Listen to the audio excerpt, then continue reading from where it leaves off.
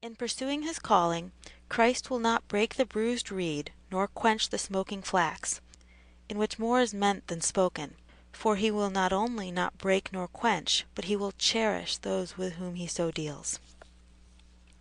Christ's dealings with the bruised reed. Physicians, though they put their patients to much pain, will not destroy nature, but raise it up by degrees. Surgeons will lance and cut, but not dismember. A mother who has a sick and self willed child will not therefore cast it away. And shall there be more mercy in the stream than in the spring? Shall we think there is more mercy in ourselves than in God, who plants the affection of mercy in us? But for further declaration of Christ's mercy to all bruised reeds, consider the comfortable relationships he has taken upon himself of husband, shepherd, and brother, which he will discharge to the utmost. Shall others by his grace fulfill what he calls them unto, and not he who, out of his love, has taken upon him these relationships, so thoroughly founded upon his Father's assignment and his own voluntary undertaking? Consider the names he has borrowed from the mildest creatures, such as lamb and hen, to show his tender care. Consider his very name Jesus, a Saviour, given to him by God himself. Consider his office answerable to his name, which is that he should bind up the broken hearted. Isaiah 61 1.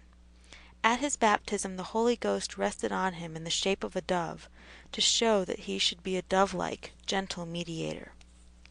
See the gracious way he executes his offices. As a prophet, he came with blessing in his mouth. Blessed are the poor in spirit.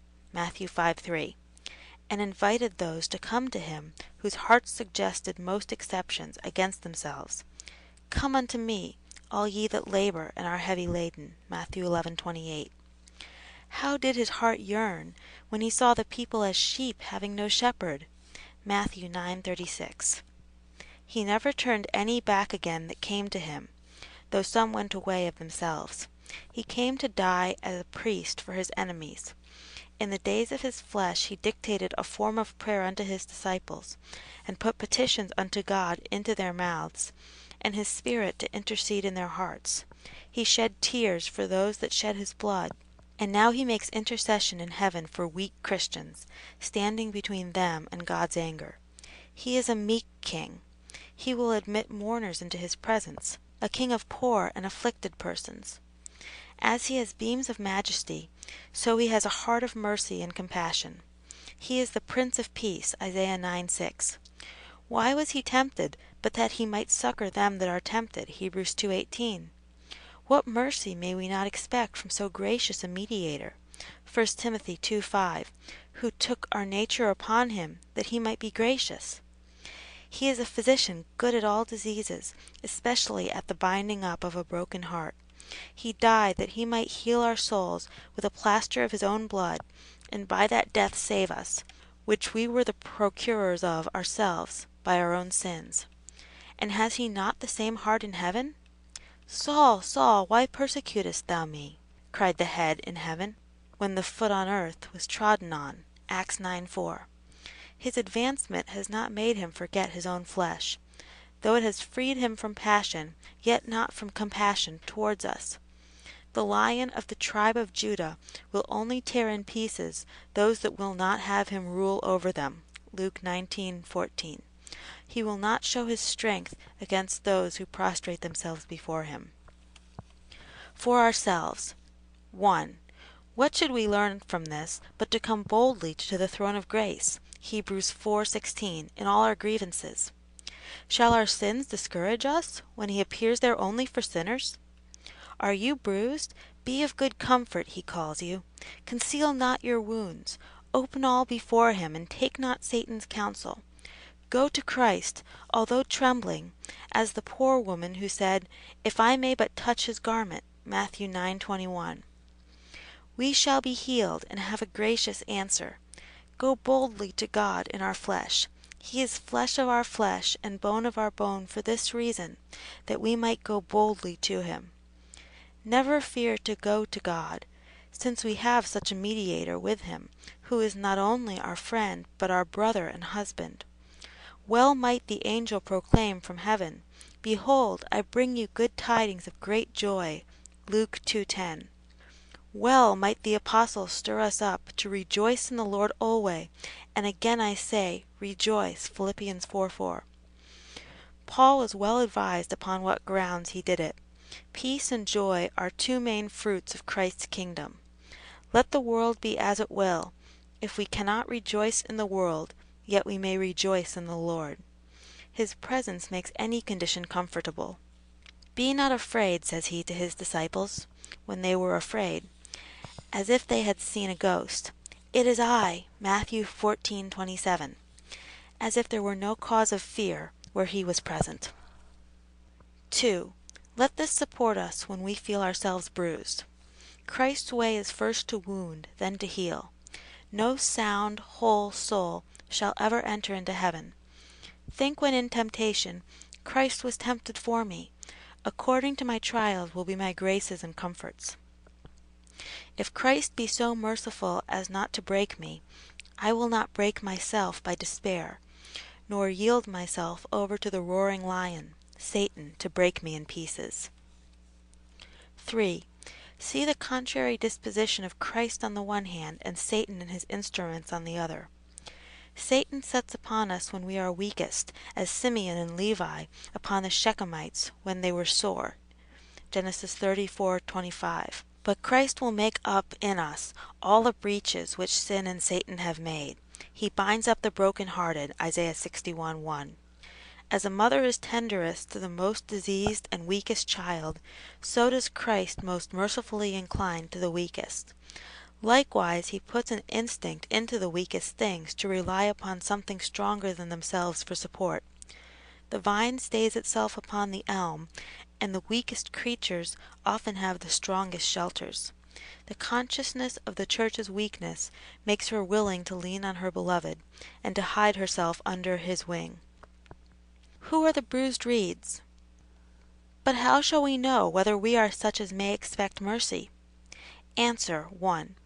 By the bruised here is not meant those that are brought low only by crosses, but such as, by them, are brought to see their sin, which bruises most of all.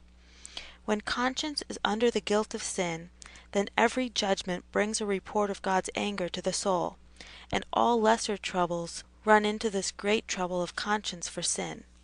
As all corrupt humors run to the diseased and bruised part of the body, and as every creditor falls upon the debtor when he is once arrested, so when conscience is once awakened, all former sins and present crosses join together to make the bruise the more painful. Now he that is thus bruised will be content with nothing but with mercy from him who has bruised him. He has wounded, and he must heal. Hosea 6:1. The Lord, who has bruised me deservedly for my sins, must bind up my heart again. 2. Again, a man truly bruised judges sin the greatest evil, and the favor of God the greatest good. 3. He would rather hear of mercy than of a kingdom. 4. He has poor opinions of himself, and thinks that he is not worth the earth he treads on. 5. Towards others he is not censorious, as being taken up at home, but is full of sympathy and compassion to those who are under God's hand. 6. He thinks that those who walk in the comforts of God's Spirit are the happiest men in the world. 7. He trembles at the word of God, Isaiah 66 2, and honors the very feet of those blessed instruments that bring peace unto him, Romans 10:15. 8. He is more taken up with the inward exercises of a broken heart than with formality, and is yet careful to use all sanctified means to convey comfort. But how shall we come to this state of mind? Answer. First, we must conceive of bruising either as a state into which God brings us, or as a duty to be performed by us. Both are here meant. We must join with God in bruising ourselves. When he humbles us, let us humble ourselves, and not stand out against him, for then he will redouble his strokes. Let us justify Christ in all his chastisements, knowing that all his dealing towards us is to cause us to return into our own hearts. His work in bruising tends to our work in bruising ourselves. Let us lament our own perversity, and say, Lord, what a heart have I that needs all this, that none of this could be spared! We must lay siege to the hardness of our own hearts, and aggravate sin all we can. We must look on Christ, who is bruised for us, look on him whom we have pierced with our sins. But all directions will not prevail, unless God by his Spirit convinces us deeply, setting our sins before us and driving us to a standstill. Then we will cry out for mercy. Conviction will breed contrition, and this leads to humiliation. Therefore desire God that he would bring a clear and strong light into all the corners of our souls, and accompany it with a spirit of power to lay our hearts low. A set measure of bruising of ourselves cannot be prescribed, but it must be so far as, 1. That we may prize Christ above all, and see that a Saviour must be had, and 2. That we reform that which is amiss, though it be to the cutting off of our right hand, or pulling out of our right eye. There is a dangerous slighting of the work of humiliation, some alleging this for a pretence, for their casual dealing with their own hearts, that Christ will not break the bruised reed. But such must know that every sudden terror and short grief is not that which makes us bruised reeds. Not a little bowing down our heads like a bulrush, Isaiah 58 5, but a working our hearts to such a grief as will make sin more odious to us than punishment, until we offer a holy violence against it. Else, favoring ourselves, we make work for God to bruise us, and for sharp repentance afterwards. It is dangerous, I confess, in some cases, with some spirits, to press too much and too long this bruising, because they may die under the wound and burden before they be raised up again. Therefore it is good in mixed assemblies to mingle comfort, that every soul may have its due portion. But if we have this for a foundation truth, that there is more mercy in Christ than sin in us, there can be no danger in thorough dealing. It is better to go bruised to heaven than sound to hell. Therefore let us not take off ourselves too soon, nor pull off the plaster before the cure be wrought, but keep ourselves under this work till sin be the sourest and Christ the sweetest of all things. And when God's hand is upon us in any way, it is good to divert our sorrow for other things to the root of all, which is sin. Let our grief run most in that channel, that as sin bred grief, so grief may consume sin. But are we not bruised unless we grieve more for sin than we do for punishment? Answer. Sometimes our grief from outward grievances may lie heavier upon the soul than grief for God's displeasure, because, in such cases, the grief works upon the whole man, both outward and inward, and has nothing to support it but a little spark of faith. This faith, by reason of the violent impression of the grievance, is suspended in the exercises of it. This is most felt in sudden distresses which come upon the soul, as a torrent or land flood, and especially in bodily sicknesses which, by reason of the sympathy between the soul and the body, work upon the soul so far as to hinder not only the spiritual but often the natural acts. Therefore James wishes us in affliction to pray ourselves, but in case of sickness to send for the elders, James 5:14. These may, as those in the Gospels, offer up to God in their prayers the sick person who is unable to present his own case. Hereupon God admits of such a plea from the sharpness and bitterness of the grievance, as in David, Psalm 6. The Lord knows our frame, he remembers that we are but dust, Psalm 103:14, that our strength is not the strength of steel. This is a branch of his faithfulness to us as his creatures whence he is called a faithful creator. 1 Peter 4:19. God is faithful, who will not suffer you to be tempted above that ye are able. 1 Corinthians 10:13. There were certain commandments which the Jews called the hedges of the law. So as to fence men off from cruelty, God commanded that they should not take the dam with the young, nor see the kid in his mother's milk, Exodus 23:19, nor muzzle the mouth of the ox. 1 Corinthians 9 9. Does God take care of beasts, and not of his more noble creature? And therefore we ought to judge charitably of the complaints of God's people which are wrung from them in such cases. Job had the esteem with God of a patient man, notwithstanding those passionate complaints. Faith overborne for the present will gain ground again, and grief for sin, although it comes short of grief for misery in terms of violence, yet it goes beyond it in constancy, as a running stream fed with a spring holds out when a sudden swelling brook fails.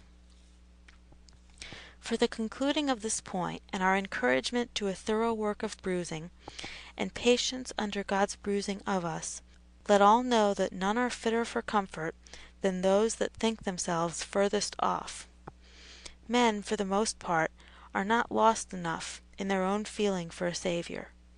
A holy despair in ourselves is the ground of true hope. In God the fatherless find mercy, Hosea 14:3. If men were more fatherless, they should feel more God's fatherly affection from heaven. For the God who dwells in the highest heavens dwells likewise in the lowest soul. Isaiah 57:15.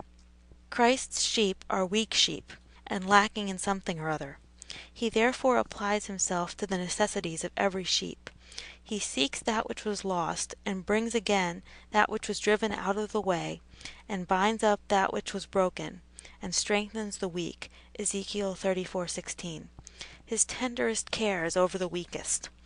The lambs he carries in his bosom. Isaiah 40:11. He says to Peter, "Feed my lambs." John 21:15. He was most familiar and open to troubled souls. How careful he was that Peter and the rest of the apostles should not be too much dejected after his resurrection. Go your way, tell his disciples and Peter Mark 16:7. Christ knew that guilt of their unkindness in leaving of him had dejected their spirits. How gently did he endure the unbelief of Thomas, and stooped so far unto his weakness as to suffer him to thrust his hand into his side.